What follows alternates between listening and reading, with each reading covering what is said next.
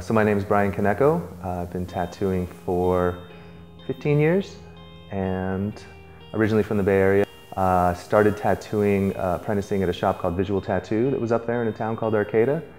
Pretty early on I got hooked up with Bill and Junii Salmon at the Diamond Club uh, in San Francisco and uh, they really took me under their wing and mentored me throughout the years when I was young. I would drive down to the city I don't know, probably six to nine times a year, stay for a few days, get tattooed, do some tattoos, and just kind of soak it up. Being hooked up with Bill and Junii as I have been over the years in the Diamond Clubs kind of given me a lot of opportunities to meet some really great tattooers and, uh, you know, especially Japanese tattooers uh, and spend some really good quality time with them. Uh, through Bill and Junii, I met uh, Horitoshi and his family, and I would say that that's definitely been my biggest artistic influence in tattooing. Since I very first started, I was getting tattooed. I got my sleeve from Bill, probably late 90s. It was kind of modeled on that style, you know, just flowers, background. That's been kind of my background and main influences up till now. I mean, obviously Japanese tattooing is the style that I'm the most attracted to and am putting my most of my energy into pursuing. I've had a hard time saying that I'm exclusively one style or another because I don't want to sound limiting or uh, dismissive of anything else, um, but that's definitely the thing I hold closest to myself.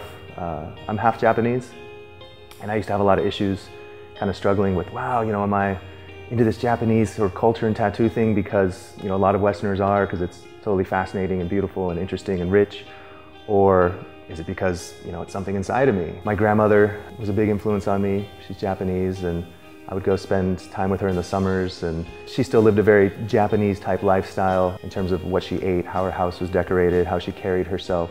And she was definitely, I would say, the biggest influence on me growing up.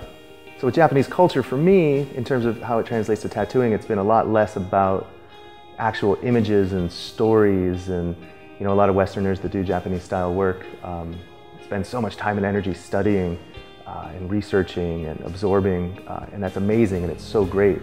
Uh, and I do that a bit myself, obviously, but uh, a big draw of it for me is kind of the mindset. You know, it's almost like a martial art, like this Japanese idea that you're sort of honing yourself through your craft, being very present in everything you're doing within that craft. And I know a lot of cultures have certain, you know, arts and crafts that people really dedicate themselves in their lives to, but there's something about the Japanese mode of uh, how they approach their work in relation to their mindset, in relation to the greater whole is uh, what really interests me a lot.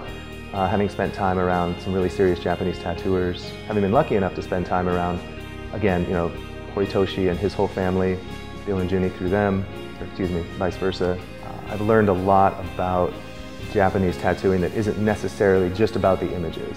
It's about how you carry yourself, how you treat the customer, how the session goes, how you interact with the person about what they're getting tattooed, what they want to get tattooed, how you execute that tattoo. And then in terms of the tattoos themselves, you know, I'm interested in kind of an overall, I guess, aesthetic rather than, again, I think it's obviously very important for us to like do our homework and know the images we're putting on people to the best of our abilities, but also to keep in mind that there's an overall kind of aesthetic that's so uniquely Japanese that they have in their minds from having lived there, having you walk by temples on your way to school, you, you know, see these sculptures and statues everywhere, you know, books, packages, you know, it's all, the imagery is just so thick there that it's kind of in their DNA.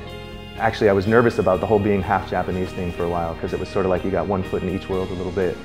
And uh, I remember the first time I went to Tokyo to visit, Horitoshi took me out to uh, sushi one night. You know, we kind of had a few beers and we're getting loose and he was saying, oh, you know, you're doing a good job or something about, you know, he gave me a positive affirmation about how I was doing okay. And uh, I remember saying, well, you know, thank you, but I'm, I'm, I get very nervous because I'm half Japanese and I don't want to pretend to be something I'm not. And he kind of patted me on the shoulder and said, okay, half Japanese is better than no Japanese. Started laughing and laughing. So it made me feel good. You know, I feel honored that uh, I'm able to be connected with some of the really great people in tattooing that I am.